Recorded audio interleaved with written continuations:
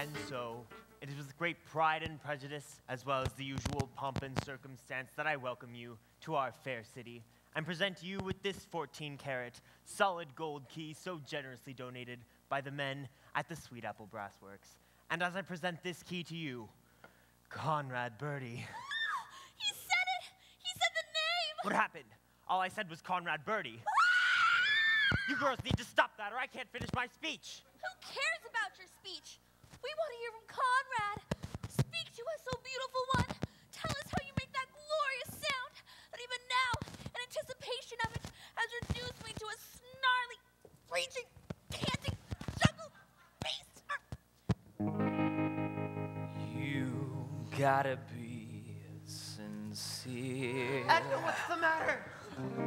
You gotta be sincere. Mr. Birdie, what are you doing? You gotta feel it here. Cause if you feel it here, well, then you're gonna be honestly sincere. If what you feel is true, really feel it you, make them feel it too. Write this down now, you gotta be sincere, honestly sincere. I mean, you gotta be sincere. If you're really sincere, if you're really sincere, if you feel it in here, well then it's gonna be right. Me, suffer.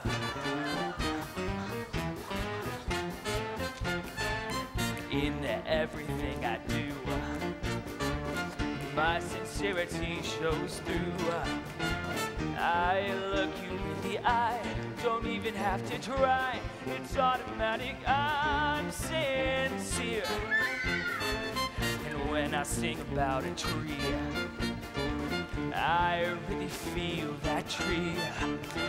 And when I sing about a girl, I really feel that girl. I mean, I really feel sincere.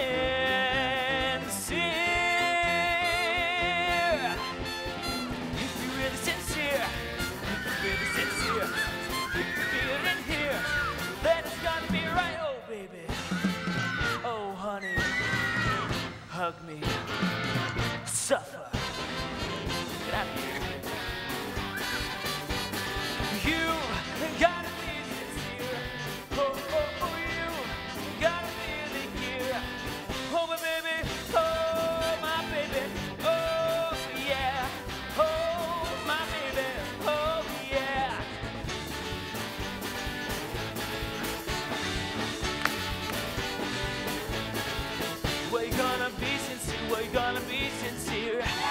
We're gonna be sincere, we're gonna be sincere.